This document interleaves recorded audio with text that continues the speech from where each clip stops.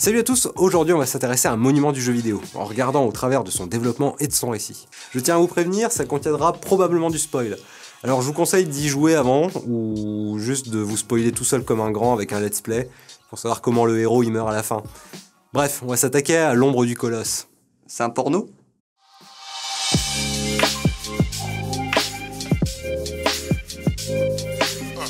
Dans ceux à qui je m'adresse, tout le monde connaît ou a entendu parler de Shadow of the Colossus. Sans mauvais jeu de mots, c'est pas le genre de la maison, c'est un poids lourd du jeu vidéo. Eh bien, ce jeu n'est pas d'origine divine, ni le fruit du travail d'un génie illuminé. Il est le résultat de l'utilisation méticuleuse des outils et du médium, ainsi que d'un développement long et attentif. Et s'il a pu voir le jour, c'est surtout grâce au cerveau de quelques hommes, et plus particulièrement celui de Fumito Ueda. Son cerveau est né en 1970 au Japon. En 93, il étudie l'art abstrait et la peinture à l'huile à l'école d'art d'Osaka, avant de se tourner finalement vers l'art interactif. Passionné par l'imagerie numérique, il se forme en autodidacte sur Lightwave 3D, un logiciel de modélisation utilisé encore aujourd'hui dans bon nombre de productions, interactives ou non, même si on l'utilise plus sur Amiga. Après ses études, il décide d'intégrer l'industrie du jeu vidéo. Il se trouve aussi qu'il possède les compétences techniques requises en infographie. Ueda voit dans ce jeune média un potentiel remarquable, largement sous-exploité. Il intègre le studio Warp en tant qu'animateur 3D et commence par bosser sur Enemy Zero, un survival horror assez méconnu en 3D précalculé largement inspiré d'Alien. Mais les plannings sont serrés et le développement difficile du jeu en fait une expérience amère pour Ueda. Il finit par démissionner et achète quelques ordinateurs, cultivant l'ambition de développer un projet bien plus personnel et différent de la production vidéoludique habituelle. En février 97, Ueda imagine et développe une idée de jeu qui se veut une fable onirique dans un monde médiéval fantastique.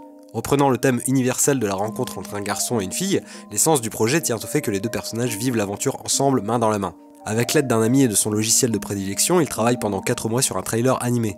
Il présente cette vidéo au grand patron de Sony et notamment Shuei Yoshida, l'actuel patron de la firme.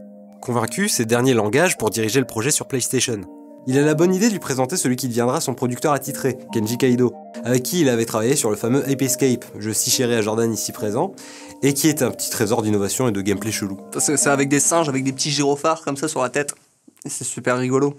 Ueda aura avec lui une équipe restreinte de 20 personnes qu'il sélectionne avec soin, et pas seulement sur leurs expériences dans l'industrie.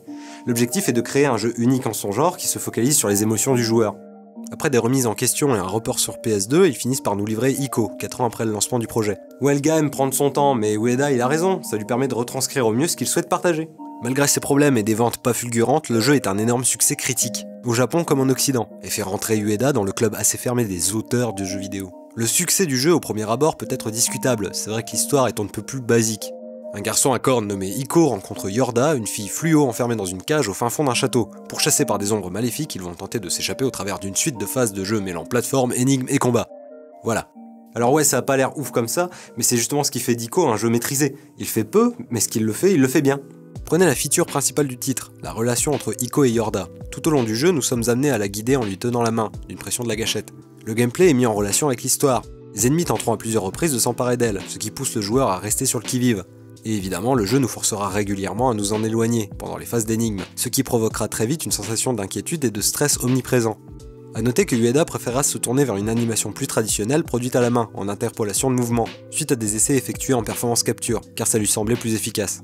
Le jeu est aussi l'un des premiers à utiliser la technique du bloom, d'ailleurs de très bonne facture pour l'époque, surexposant les extérieurs ou créant des zones lumineuses au travers des vitres du château. L'univers, le game design, le gameplay, tout fut une affaire de peaufinage lent et méthodique, ce qui nous donne une œuvre très dure de par son ambiance et son gameplay, mais à la fois extrêmement légère et simple bizarrement pour les mêmes raisons. Une œuvre pour le moins intrigante, démontrant que l'importance n'est pas vraiment ce qu'on raconte, mais plutôt comment on le raconte. Ce mélange assez unique sera le moteur de l'œuvre de Ueda, qui a mis en place un processus créatif assez particulier appelé Substracting Design, ou conception par soustraction dans la langue de Pierre Belmar. Il définit ainsi qu'un projet doit se baser sur une poignée d'idées fortes, comme la relation entre Iko et Yorda, les ombres menaçantes et le château, et de s'assurer que toutes les nouvelles idées apportées lors du développement serviront à cette base. Si ça ne remplit pas son rôle, elle dégage. Ce qui évite de diluer la ligne directrice du jeu. Par exemple, dans la première version du jeu prévue sur PSX, on était amené à nous balader dans un village et une forêt. Des ennemis humains étaient même prévus. Mais Ueda décida de tout jeter à la poubelle lors du passage sur PS2, et remania le jeu vers sa base forte, le lien, les ombres et le château. Contrairement à ce que l'on pourrait croire, ce concept fut loin de brider l'imagination des développeurs, même si Ueda émettra un petit bémol, pensant qu'il en a trop usé sur Ico. Aujourd'hui, plein de créateurs, pour la plupart indépendants, sont les héritiers directs de cette méthode. Le créateur de Dark Souls, Hidetaka Miyazaki, a déclaré que c'était Ico qui l'avait ouvert aux possibilités du médium. Dans le genre, ça se pose là. Et quand on voit le nombre de jeux récents gâchés par les dernières features à la mode comme le crafting, on se dit que l'industrie a encore pas mal à apprendre. Vous voyez à peu près le contexte dans lequel Ueda pense ses jeux, et maintenant je pense qu'on peut aborder le gros morceau. Donc, fort du succès d'ICO, l'équipe est en partie remaniée et de nouvelles têtes sont engagées. Fidèle à lui-même et à sa réputation de mec exigeant, Ueda n'engagera qu'une poignée de personnes sur la centaine venues poser leur candidature suite au succès du premier jeu. L'équipe maintenant nommée Team ICO se met au boulot sur le prochain titre sous le nom provisoire de Nico, un jeu de mots entre ICO et Ni du japonais pour deux. Une courte démo en temps réel est conçue avec le moteur d'ICO. Celle-ci nous montre des cavaliers attaquant un énorme monstre en plein désert qui finit terrassé par ses assaillants. Évidemment, ça claque aux yeux de Sony et le studio reçoit le feu vert pour le projet. Rapidement renommé Shadow of the Colossus, qui mettra finalement en scène un seul héros, Wanda, anglicisme japonais pour vagabond, tentant de ressusciter une jeune fille grâce à une divinité oubliée lui demandant de tuer plusieurs colosses au travers d'une vaste étendue désertique. Le développement va encore s'étaler sur plusieurs années car l'équipe doit se coller à de grosses questions techniques et créatives. Suite spirituelle d'Ico, le jeu reprend surtout l'idée de pouvoir s'accrocher avec R1, et la filiation visuelle est évidente. Mais tous les ressorts du premier jeu sont ici inversés et poussés à l'extrême. La claustrophobie du château contre les plaines désertiques à cheval, le lien protecteur d'Ico et Yorda contre les fatales ascensions de Wanda sur les colosses. D'après Ueda et Kaido, les deux jeux partagent un thème commun, le détournement des codes habituels de gameplay.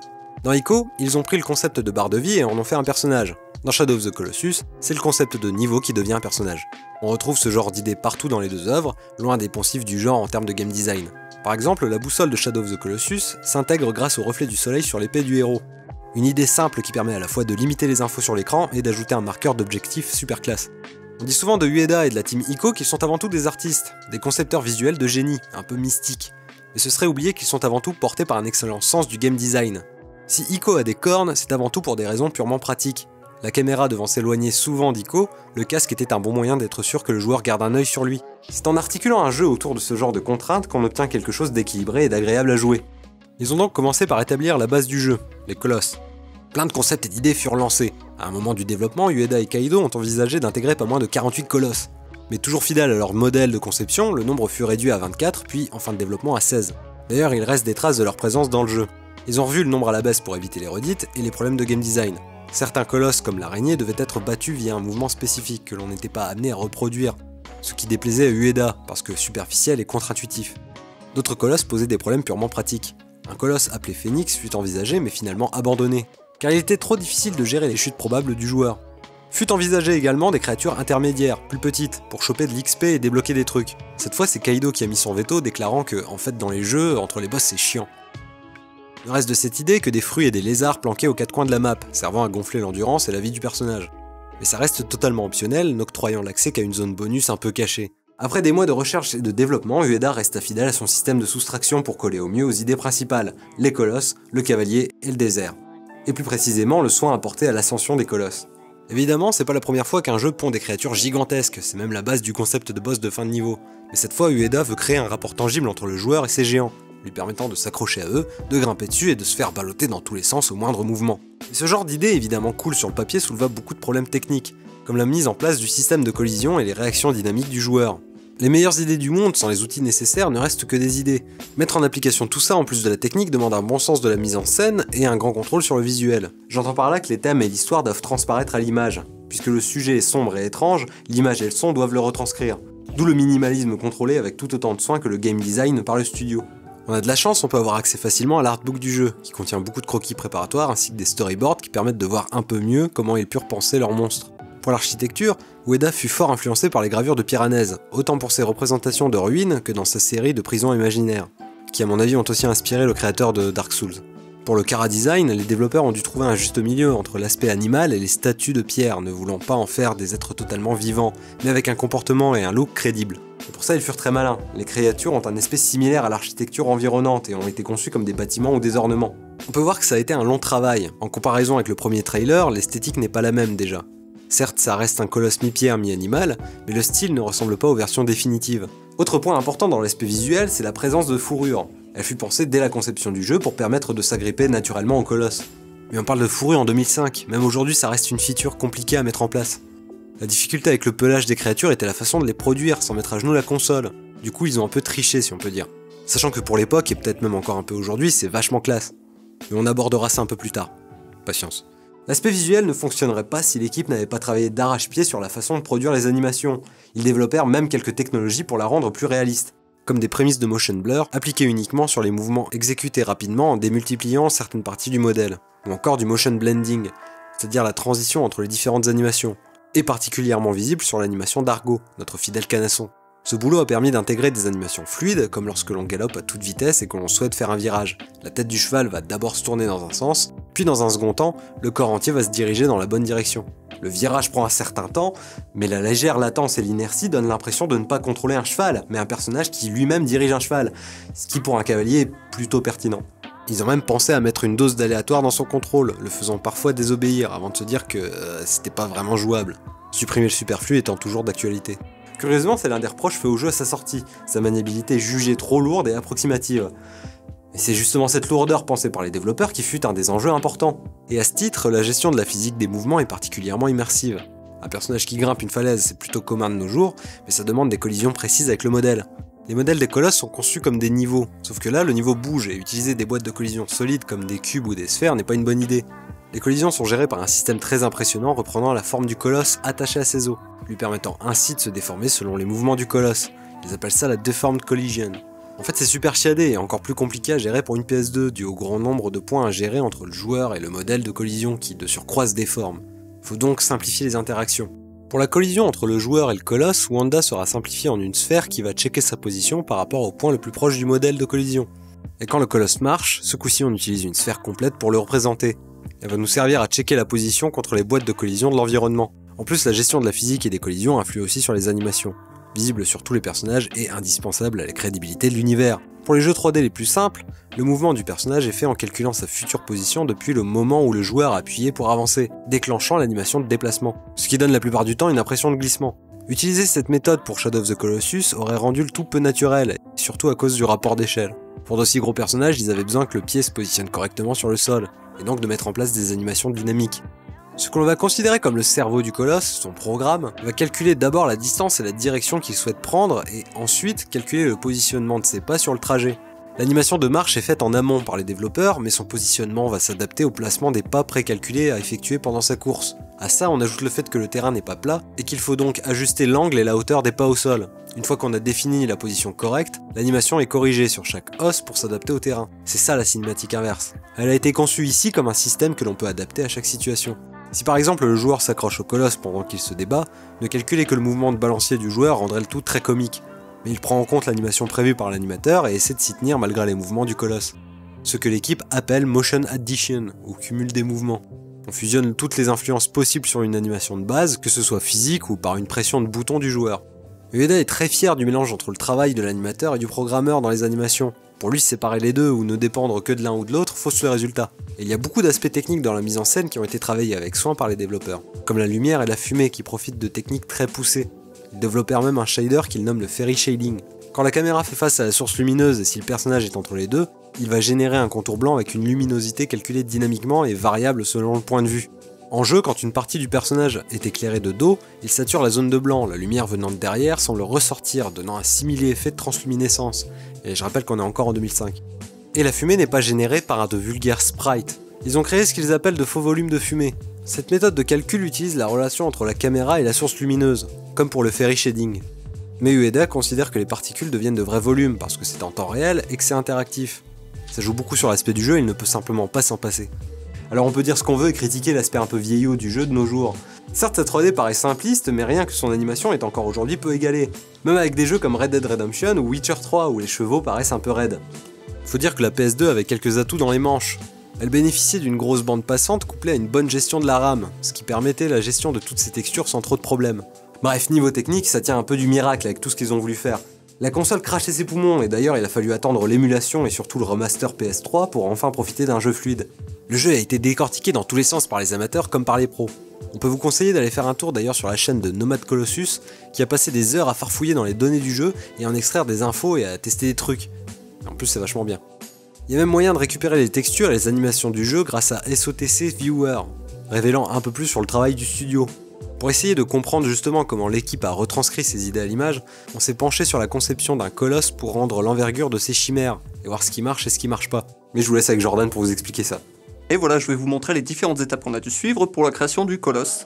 Pour la modélisation du colosse, rien de bien transcendant. Il s'agit là de modélisation somme toute assez classique. La seule contrainte est d'avoir une topologie pas trop dégueulasse, parce qu'on va animer le modèle par la suite. Et aussi de limiter le nombre de polygones que je vais utiliser, histoire de rester un tant soit peu fidèle au nombre de polygones présents dans les modèles du jeu. J'ai donc demandé des références à Ronnie, des petits croquis sous différents angles pour m'aider à concevoir le modèle, et avoir une idée des pièces d'armure que le colosse pourrait porter. Un des points particuliers dans la conception des colosses est la façon de concevoir la mise en texture des modèles. D'habitude, dans l'industrie du jeu vidéo, on aura tendance à découper la surface du modèle pour la mettre à plat, et peindre ensuite la texture du personnage sur ce patron fraîchement déplié. Mais dans Shadow of the Colossus, les personnes chargées de la création des colosses vont aborder une autre approche du texturing. Ici, on va placer manuellement les textures directement sur les polygones, en se servant de plusieurs textures. Un des points qui m'a toujours fasciné dans Shadow of the Colossus est le rendu de la fourrure. Le procédé est simple, mais relève tout de même d'une grande ingéniosité. Pour ce faire, les développeurs ont défini en amont les zones où la fourrure devait être présente sur le colosse. Pour créer l'illusion de la fourrure, les développeurs ont utilisé plusieurs jeux de textures. Trois textures ayant pour but de gérer la transparence, en faisant en sorte de placer les textures les moins transparentes dans le fond, pour faire en sorte que la fourrure semble plus dense à la base que sur les couches supérieures.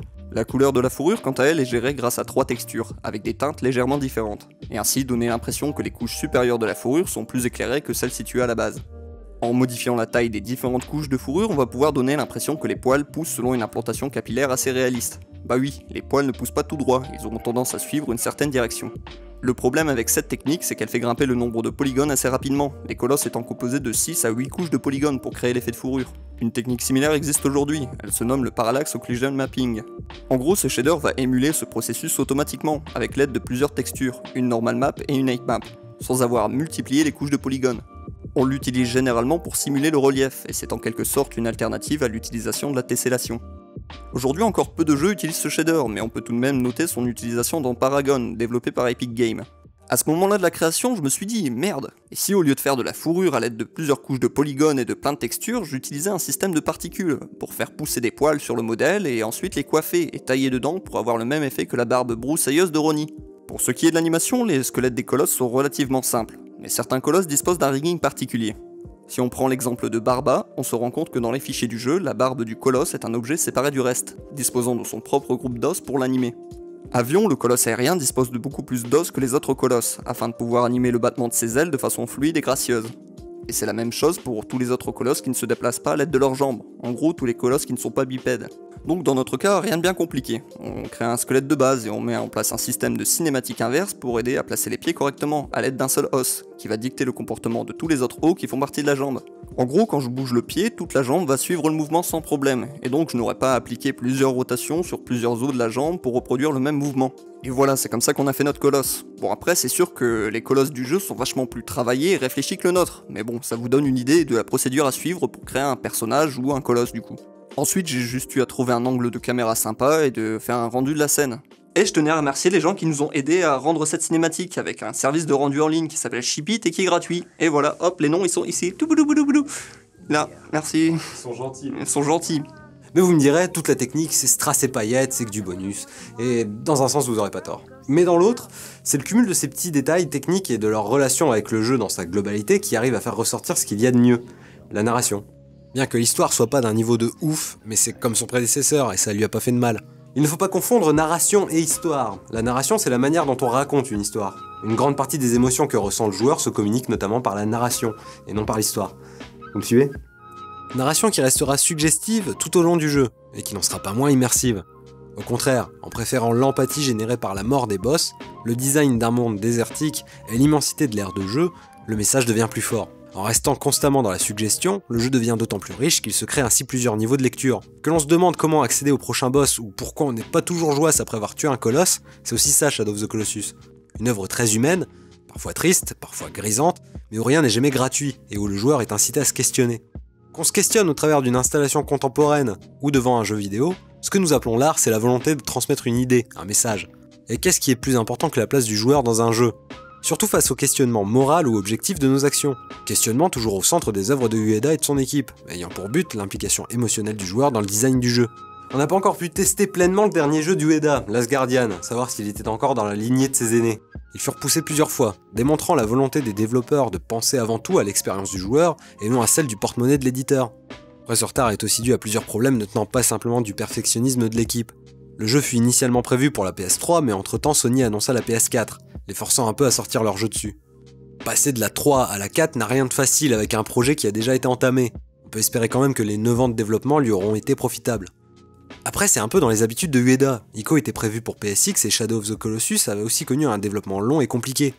Comme je l'ai dit, Ueda aime prendre son temps. Et quand on voit la remarquable constance entre les tout premiers trailers sortis en 2009 et les premières images du jeu définitif, force est d'admettre que l'idée de base n'a pas l'air altérée, ce qui est plutôt rassurant pour un long développement. Là encore, l'idée du lien affectif, cette fois entre un garçon et une grosse bébête, semble au cœur du jeu. Tricot, c'est son nom et la principale fiéture du titre. Qui c'est qui est trognant Ah qui c'est? Ben oui, c'est toi. Son animation et son comportement ont l'air d'avoir bénéficié d'un soin tout aussi particulier que les 16 colosses réunis, et la coopération entre lui et notre avatar semble intégrer une dose de latence et d'aléatoire, comme un jeune chiot un peu méfiant. On nous place dans la situation inverse d'Ico. Nous sommes les personnages faibles ayant besoin d'un tiers pour assurer sa protection. Bon, les premières tours font état de problèmes de caméra et de déplacement, mais merde quoi, ces défauts sont récurrents dans leur jeu et ça n'a jamais empêché leur sanctification.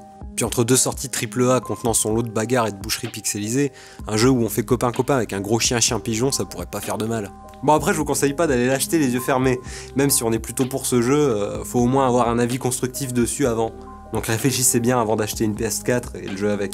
Mais on peut quand même saluer la team ICO pour leurs œuvres, nous permettant de faire une courte pause sur la technique et de se pencher plus sur ce qu'est l'art et le médium. Car oui, ils ont une démarche artistique, l'idée de départ reste immuable, quitte à s'arracher les cheveux pour que le tout reste cohérent une fois le jeu achevé. Ce n'est pas une simple commande d'un mec qui met du blé dans le projet. Car l'art ce n'est pas seulement des trucs faits par des gens avec l'étiquette artiste, qui ont droit à des vernissages et une place dans un musée. L'art c'est un véhicule d'émotions fortes, la transmission d'une idée quoi.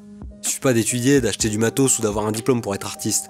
Je pense qu'un artiste c'est quelqu'un qui arrive à transmettre un sentiment profond aux autres, peu importe le chemin par lequel il passe. Et bien souvent c'est une question de travail et d'obstination, pour le partage et l'envie de sensibiliser à certains sujets, à regarder des choses sous un autre angle. Bon allez, je m'en fous, on va se quitter sur une citation de Kandinsky. L'art dans son ensemble n'est pas une création sans but qui s'écoule dans le vide. C'est une puissance dont le but doit être de développer et d'améliorer l'âme humaine. Ouais, ça fait vachement en poulet. Mais bref, je vous remercie déjà de nous avoir suivis jusqu'ici, et je vous dis au revoir et à bientôt pour un prochain épisode de Post Process. Joyeuse fête, donc joyeux Noël, et bonne année et tout ce bordel.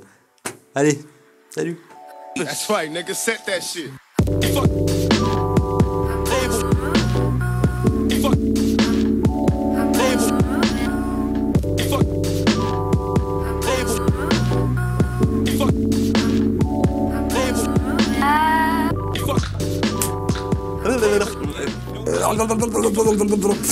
Oui, c'est Noël Joyeuse fête Mais il meurt pas, mais justement, il se fait tuer.